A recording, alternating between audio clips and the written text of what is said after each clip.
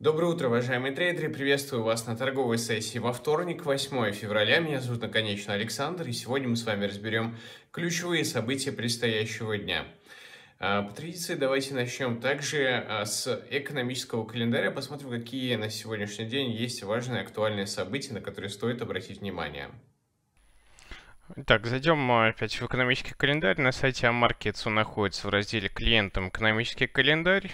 По умолчанию открывается экономический календарь на сегодня, на 8 февраля.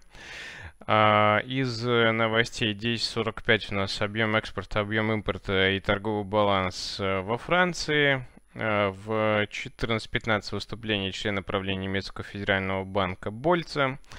И а, в 16.30 объем а, импорта и экспорта в Канаде и а, США, но также торговый баланс в Канаде и США, краткосрочный прогноз развития энергетики в 20.00 и в 21.00 выступление вице-президента немецкого федерального банка Буха. А, ну, на вторник экономический календарь, как мы видим с вами, чуть-чуть поинтереснее, чем был вчера, но в целом, опять-таки, каких-то важных событий, которые действительно могут повлиять на финансовый рынок, сейчас нет. А, вернемся в MetaTrader. А, S&P 500 у нас находится плюс-минус на тех же уровнях, что и вчера. Какого-то особого движения не произошло. А, S&P 500 на часовике э, консолидируется, и в целом я думаю, что вот эта формация приведет S&P 500 выше 4500, ну, где-то в районе 4584 на обдавление предыдущего максимума, ну и на последующий рост. А, четырехчасовой график, в принципе, также выглядит достаточно восходящим, то есть я до сих пор продолжаю рассматривать вот это движение как коррекцию перед дальнейшим ростом. Переключаемся на индекс доллара. Индекс доллара мы вчера с вами рассматривали, а вчера картина была у нас с вами несколько другой. Да, мы рассматривали здесь э, э, графический паттерн на вымпел и ставили цель, что цена будет вот на вот это расстояние идти вверх. Но, как видим, э, индекс доллара начал удлиняться и как такового роста не произошло, но в целом формация остается растущей. И э, вот я также продолжаю думать, что э, индекс доллара будет расти с целью 95, 80, 96. А, поэтому за индексом доллара, я думаю, последует рост. А, переключимся на евро-доллар. Евро-доллар с вчерашнего дня плюс-минус стоит на месте. Какого-либо э, сильного движения по евро-доллару не было. Можно предположить, что если индекс доллара будет расти в районе 96, 95, 80, то евро-доллар будет снижаться. Какой бы э, нижний уровень по евро-доллару? Это, в принципе, в районе 1.13. 51, 13, 60 можно выделить вот именно вот этот уровень, да, плюс-минус в прошлом цена от э, этого уровня уже отбивалась, и весьма вероятно, что при достижении индекса доллара отметки 96, 96.20, евро-доллар мы с вами сможем увидеть в районе 1.1350, 1.1360. Вот плюс-минус в этом диапазоне коррекция и последующий рост, потому что если переключиться на другие таймфреймы, видно, что а, евро-доллар находится переключился в восходящий тренд, образовалась практически э, большая свеча поглощения на недельном графике, и после небольшой коррекции возможен дальнейший рост. А, посмотрим график золота.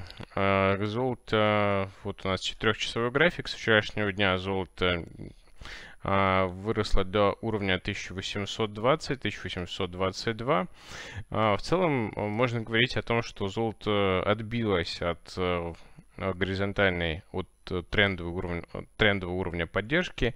И э, по золоту можно ставить цель 1830. При пробое 1830, соответственно, открывается цель 1850. Э, думаю, что по золоту мы в скором времени увидим рост. Биткоин. Биткоин, наверное, самый интересный инструмент. Э, с вчерашнего дня а, биткоин очень сильно вырос. Мы вчера с вами рассматривали уровень 45 тысяч, да, тут при пробое этого уровня можно говорить о том, что э, сейчас на рынке будет идти восходящая динамика. И вот э, буквально некоторое время назад, да, это получается часовой график, в течение этого часа цена по биткоину доходила на уровень 45 тысяч 478, ну, практически 45 500. И восходящая динамика остается. Если переключиться на недельный график, здесь в целом ну, картина выглядит достаточно уже бычьей. И э, думаю, что сейчас уже э, у трейдеров должно быть больше уверенности о том, что биткоин будет расти. Так на месячном графике здесь э, вообще очень интересная картина, да, в принципе, можно говорить о том, что биткоин сейчас пойдет к своим максимумам 68, 69, 70 тысяч. Нефть марки Brent э, мы с вами вчера не рассматривали, ну давайте про нефть тоже поговорим.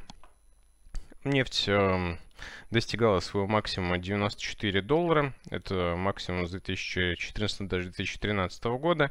А, как э, смотрим по техническому анализу, восходящая тенденция по нефти остается, и сейчас говорить о продажах по нефти, я думаю, пока очень-очень рано.